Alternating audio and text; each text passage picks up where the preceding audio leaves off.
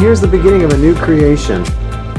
I got the bodice started, and then there'll be a flared out skirt with it, and it'll be a nice, darling evening dress for a nice occasion. A wedding, a fancy dinner, anything, anything fancy. This will be really nice. Very nice.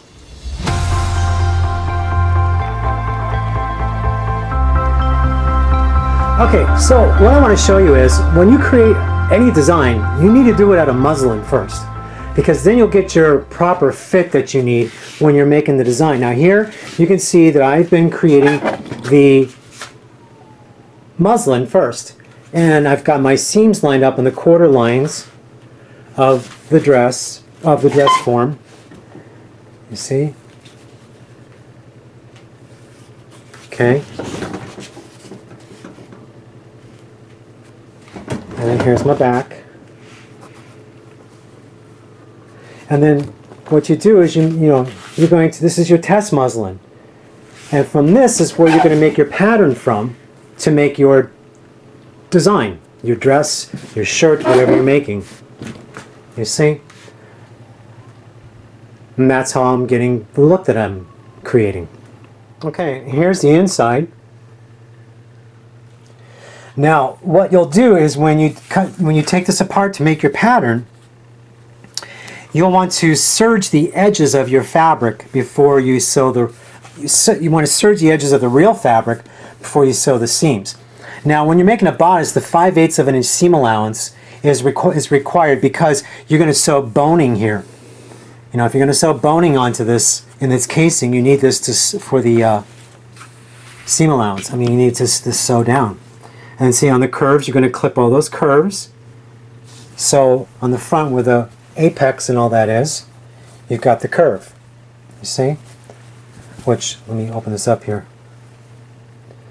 There, you see you got the curve.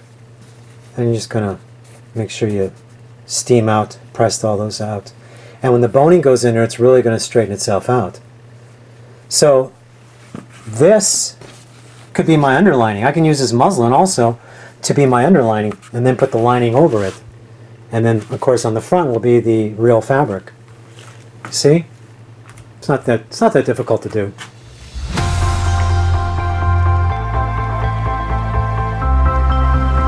Okay, the, the other thing that's required for a design like this is uh, interfacing. And the interfacing is made up just like the fashion fabric bodice, but I'm making it out of duck cloth because it has to have a good support base.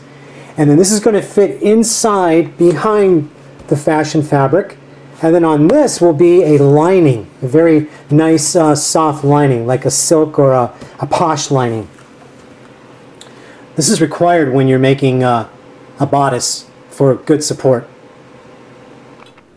Okay, now what I did was I put the uh, interlining on the mannequin and then I put the fashion fabric bodice over and you can see already how it fills it up and gives it beautiful, beautiful support. You see that? It just gives it beautiful support. And of course it'll all be sewn up. This is just to show you, just to give you an idea. It's not all even. I just put it on real quick, just to show you. But it makes, the interlining makes, makes a huge difference. And I don't even have any boning in here yet. There's no boning put in here yet either. So but you can see how nice with the interlining that duck canvas, how beautiful it helps that give that support to that fashion fabric on the outside.